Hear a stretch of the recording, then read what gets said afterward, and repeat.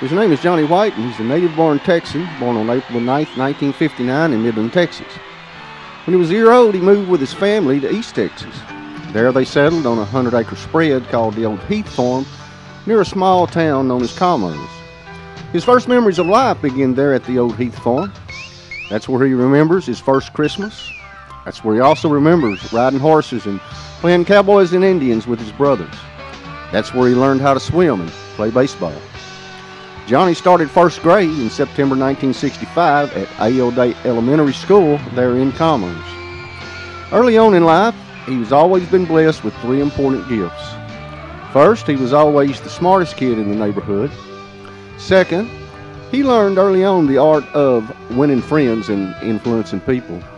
And third, he was a young boy born with vision. His musical training began at an early age as well. He learned to sing his first song at age six and started playing the guitar when he was eight. He performed on stage the first time when he was 11 and wrote his first song by the time he was 13. Johnny's father was killed in a tragic automobile accident when he was only eight years old. Poverty and government assistance soon became a way of life for the family. Later on, his mother remarried a cotton farmer, and the family moved 10 miles out in the country in a small community known as Jot 'Em Down. Johnny spent his formative years growing up there on the farm in Jot 'Em Down. He started high school at Cooper High School in Cooper, Texas in the fall of 1973. His high school years were spent playing music in church, in school, and in local talent contests. He graduated senior class president from Cooper High School. After high school, Johnny put down his guitar and went off to see the world. Compliments of Uncle Sam and the United States Air Force. He would circle the globe twice during a 10 year career, serving tours in both Southeast Asia and the South Med. His son, Johnny Jr., was born while he was in boot camp in San Antonio, Texas in July of 1977.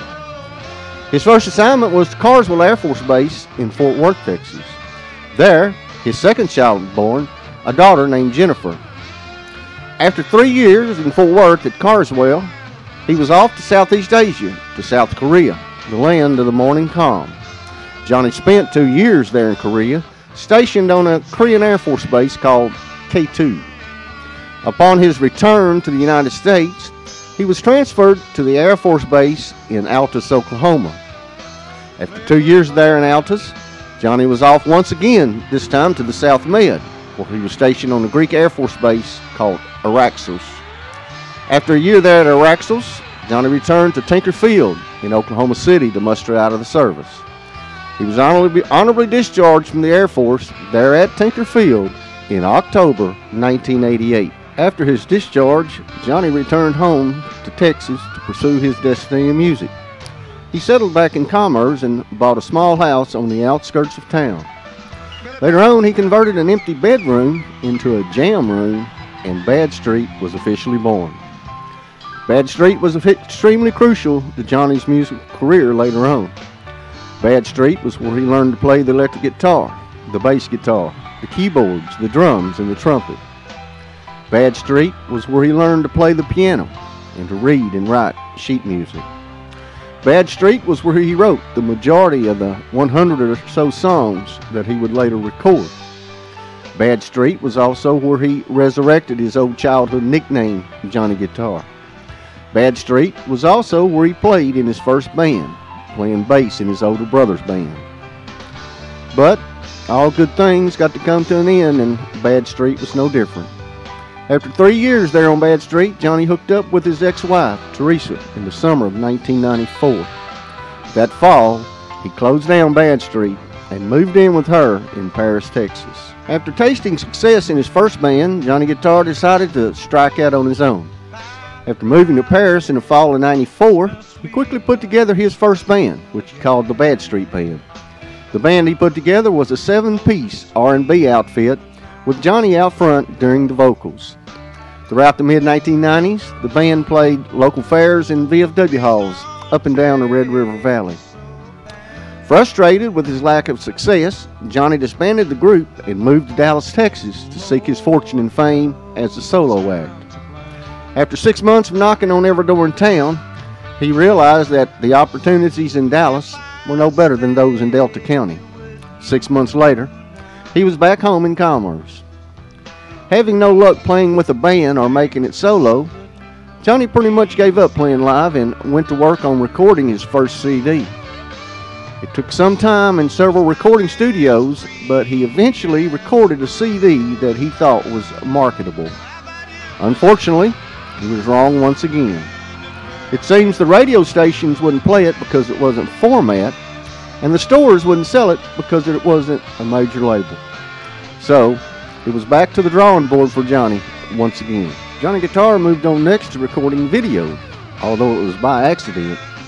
He'd lost all hope of trying to make it big playing with a band and was in need of a new direction. One day, while at a small local auction, Johnny bought a used video camera. Later on, he used the film camera to start filming jam sessions and band rehearsals there in the studio. Eventually, he started taking the camera out to the clubs and filming various live performances. Then, he learned how to mix and edit the videotape on his computer. Soon, he was mixing audio and video to produce his own music videos.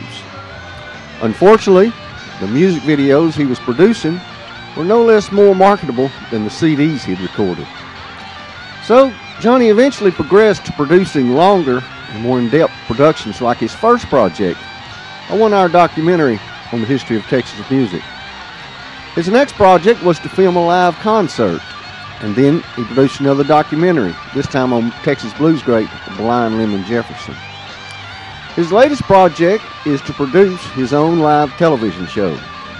Television is uniquely different from music and music videos. Unlike radio, television has a market that can be exploited. In other words, you can buy airtime on television stations, unlike radio stations.